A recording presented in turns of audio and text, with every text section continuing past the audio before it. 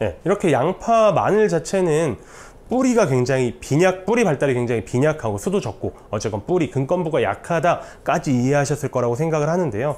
그럼 뿌리를 좀 강하게 키우려면 뭐가 필요할? 안녕하세요. 오랜만에 인사드립니다. 농사백단입니다. 오늘은 이제 양파랑 마늘에 대해서 말씀드려 볼 건데요. 예, 이제 양파 마늘의 생육 특성에 대해서 이제 핵심만 꼭 알고 가셔야 되는 거 일단 첫 번째 양파와 마늘은 월동하는 작물이라는 거죠. 겨울을 이미 정식을 하고 겨울을 나는 작물이기 때문에 겨울을 나는 거를 대비해야 하기도 하고 겨울을 나고 난 다음에 이제 급격적 급격하게 비대하는 거에 맞춰서 비배 관리가 반드시 필요한 작물이다 라고 이해해 주시면 되겠고요. 양파와 마늘은 초초초초 청근성 작물입니다. 그러니까 뭐 뿌리의 깊이 같은 거를 뭐 논하기 전에 일단 뿌리 작물이지 않습니까? 양파 마늘은 다 뿌리에 달려 있으니까 사실 나머지 새 뿌리들이 나올 수 있는 볼륨 같은 경우들이 굉장히 적은 그래서 양분과 수분의 흡수가 좀 어렵고 어, 작물들이 좀 아니, 작물들이 양분과 수분의 흡수를 좀 어려워하는 초초초초 청근성 작물이다. 그리고 염류에도 굉장히 취약하다라고 이해하시면 되겠습니다.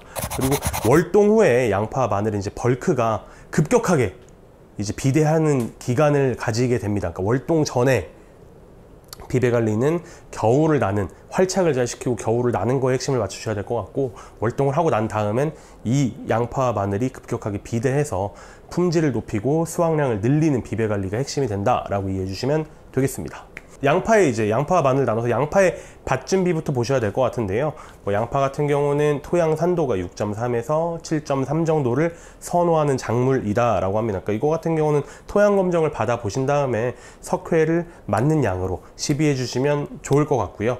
양파 재배 토양은 아쉽게도 양파도 마찬가지고 마늘도 마찬가지지만 특히나 양파는 워낙 다비를 하는 관행적으로 다비를 하는 경향들이 많으시더라고요. 그러니까 다비를 많이 하시고 그리고 특히나 이제 황 계통의 비료를 다비하시는 경우가 굉장히 많으니까 좀 토양 자체가 산성화된 토양이 굉장히 많이 있습니다. 그렇게 그렇지만 양파 같은 경우 토양 산도가 거의 중성에 가까운 6.3에서 7.3 정도를 선호하니까 꼭 석회 시비가 권장이 되는 부분이 있고 그 석회는 토양 검정을 받아보신 다음에 그 양에 맞춰 가지고 시비를 하시면 되겠습니다. 마늘도 마찬가지인데요. 마늘은 양파와 조금 다르게 토양 산도를 6.5 정도를 선호한다라고 합니다. 근데 마늘 같은 경우는 이제 양파에 비해서 석회를 많이 뿌리시는 경향이 있다라고 해요. 많이 뿌리시기 때문에 좀 토양 자체가 알칼리성화 돼 있는 경우가 많으니까 요거 같은 경우도 반드시 토양 검정을 받으신 다음에 6.5에 맞출 수 있게 석회의 12량을 결정하신 다음에 시비하시는 게 반드시 필요하겠습니다. 이거 모든 원예 작물들이 마찬가지인데요.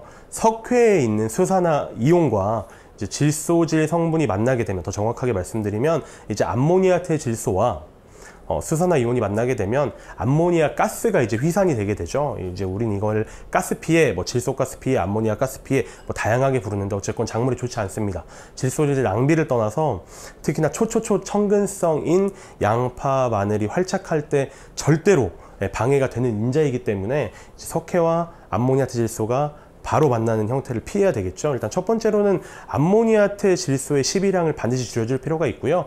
두 번째는 시비하는 간격인데요.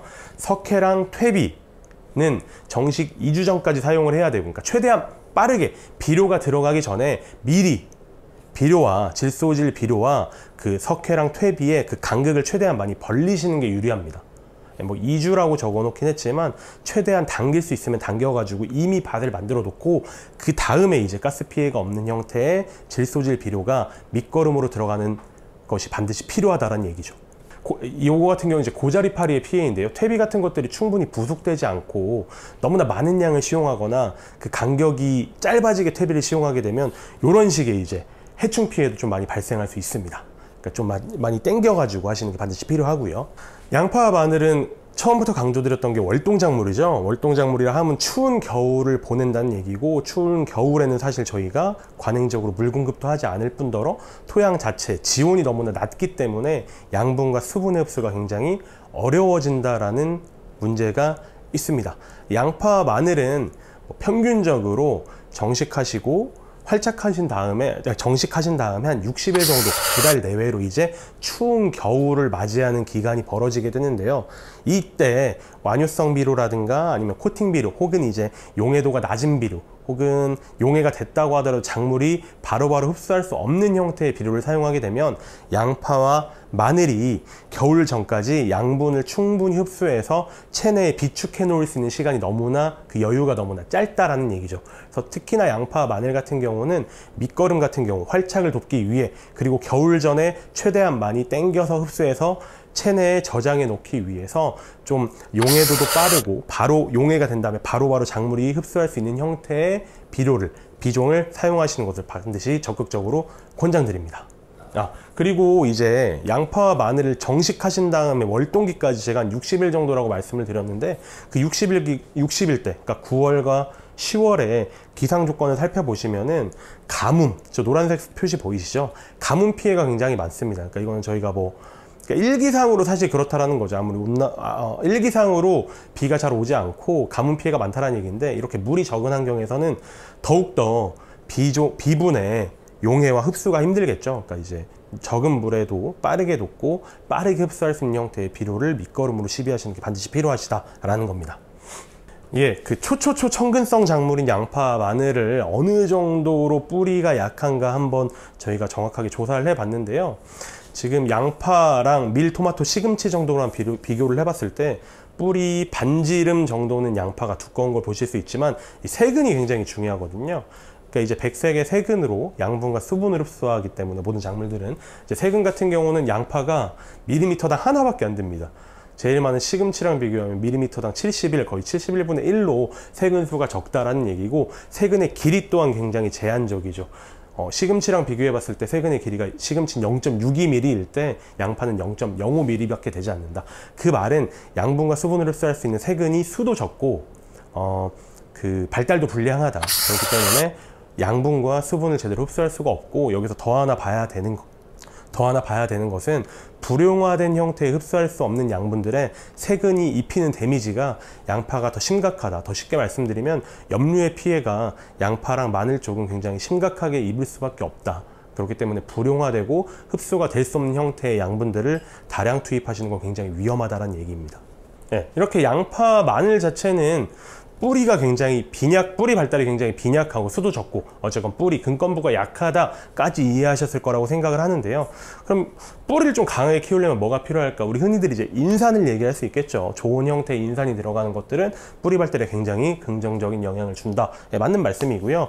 근데 이제 질소의 형태에 따라서도 사실 근건부의 발달에 굉장히 영향을 많이 끼치는데요. 이제 왼쪽 부분 보시면은 암모니아태, 질산태, 암모니아태 혼용 그리고 질산태만 들어갔을 때 뿌리의 부피, 무게 변 변화입니다. 그러니까 뿌리의 볼륨이 풍성해진다는 얘기고 뿌리의 볼륨을 풍성하게 하기 위해선 세근의 길이라든가 세근의 부피, 세근의 수가 증가해야 된다는 얘기인데 어, 질산태만 단독으로 시용했을 때 세근의 부피와 무게가 암모니아태만 사용한 거에 비해서 거의 4배 가까이 증가하는 것을 보실 수 있습니다. 마찬가지로요. 뿌리가 발달하게 되면은 이 뿌리 안에 이 뿌리 안에 다른 양이온 그러니까 뿌리가 발달하게 되면 뿌리가 많은 양분들을 흡수하고 저장해 놓을 거 아니에요. 그 양분들이 얼마나 저장되어 있나 보자라는 얘기인데요. 실제로 보라색의 칼륨, 어, 주황색의 마그네슘, 그리고 파랑색의 칼슘, 초록색의 이제 질소를 비교해 보도록 하겠습니다. 오른쪽으로 갈수록 뿌리 안에 이런 양이온들이 굉장히 많이 저장되어 있는 걸 보실 수 있는데요. 이렇게 양이온들이 많이 저장되어 있는 조건은 뭔가라고 살펴보 니까 질산태의 비율이 늘어날수록 뿌리 안에 양이온들의 비율이 늘어나고 있다. 이 말은 뿌리가 잘 발달이 되어서 뿌리가 많은 양분을 흡수해서 저장하고 있다. 뿌리 발달은 인산뿐만 아니라 질소의 형태도 굉장히 중요한 역할을 하고 그 질소의 형태는 질산태가 굉장히 긍정적이다 라고 이해해 주시면 되겠습니다.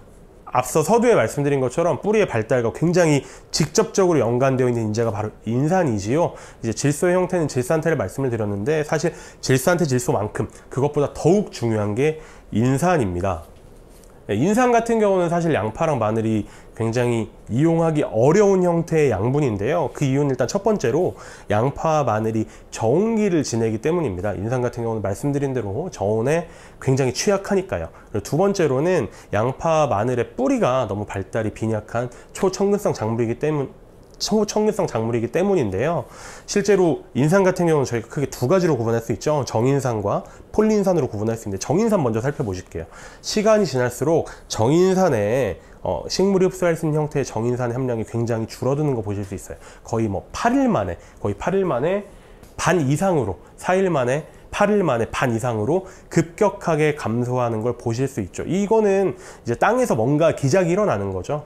정인산이 토양 산도에 따라서 불용화되거나 어, 지온이 너무 낮으니까 그리고 인산 자체의 특성에 의해서 이동이 되지 않고 불용화가 된다라고 보실 수 있는데 폴리인산 같은 경우는 동기간에 동기간에 오히려 식물이 흡수할 수 있는 인산의 양이 늘어나는 걸 보실 수 있습니다. 그러니까 양파 마늘의 뿌리가 활착하고 인산을 열심히 빨아들이는 그 초기 활착 기간에 오히려 식물이 이용할 수 있는 형태의 인산의 함량이 늘어나는 거 보실 수 있는데 이거는 근건부의 폴리인산이 토양 산도와 관계없이 그리고 근의 발달과 크게 관계없이 흡수 가능한 세근 쪽으로 이동을 하고 열심히 분해가 돼서 식물이 이용 가능한 형태의 인산으로 존재하고 있다라는 이야기입니다. 이것만 보시더라도 그 초기 활착 기간에 정인산은 굉장히 함량이 반 이상으로 떨어지지만 폴리인산은 오히려 증가하고 있다라는 것만 보시더라도 초기 활착 기간, 인산을 많이 흡수하는 기간에 어떤 인산을 공급해야 되는지 굉장히 자명해 보입니다. 예, 양파 마늘의 초기 이제 그러니까 결국에 지금 양파 마늘의 밑거름에 대해서 말씀을 드렸을 때는 뿌리 부분이랑 연관을 지어서 뿌리의 발달에 도움이 될 수 있는 폴리인산과 질산테 질소를 말씀드린 거고요. 그거랑 이제 병행해야 하는 그리고 아까 특히나 이제 어, 월동 전에 열동전의 활착 기간에 가뭄 피해가 굉장히 심각했기 때문에 이 기간에 양파 마늘에 이제 물을 대주시는 분들도 굉장히 많으시잖아요. 그러니까 물 대주실 때 이제 연면 시비도 병행하실 수 있으니까 초기 연면 시비를 어떤 느낌으로 해야 될까를 정리해 보았습니다. 이제 뭐 해조 추출물을 굉장히 추천을 드리는데 그 이유는 결국에 냉해 저항성 증가입니다. 월동 기간을 겹치는 양파 마늘에 냉해 저장 냉해 저항성을 증가시키고 초기 활착을 최대한 잘 되게 하고 그리고 체내에 많은 양분을 저장해서 월동 후에 급격하게 이제 비대를 시키자라는 개념인데요. 해주 추출물에 들어있는 후코이단과 알긴산 그리고 만니톨 같은 경우는 어떤 역할을 하냐면 세포벽을 강화해 주기 때문에 냉해를 감소시키고 뿌리 생장을 빠르게 하고 뿌리 생장을 빠르게 하니까 양분과 수분을 최대한 많이 체내에 축적시킬 수 있고 그리고 체내에 많은 양분들이 축적시키면은 이 전해질의 농도가 증가하기 때문에 그 동해나 냉해 피해에 견디는 힘이 훨씬 더 강해지게 됩니다. 그리고 이제 가뭄 저항성 그러니까 결국에 해조 추출물은 저항성 때문에 많이 공급을 하는 거거든요. 그러니까 이 시기에는 가뭄 저항성과 냉해 저항성에 초점을 맞추시고 해조 추출물을 초기에 공급하시는 게 반드시 필요하겠다. 월동 전에 그 말씀을 드리는 겁니다. 이번까지 말씀을 드린 게 사실 양파, 마늘의 초기 비배 관리죠. 그러니까 초기 비배 관리 핵심을 살펴보시면은 석회를 반드시 시비하셔야 되는데 비료와 밑거름과 석회의 간격을 최대한 떨어뜨리셔라 라고 말씀을 드렸고 그리고 이제 그 뿌리에 도움이 될 수 있는 인산의 형태 폴리인산과 질소의 형태 질산태 질소에 대해서 설명을 드렸습니다.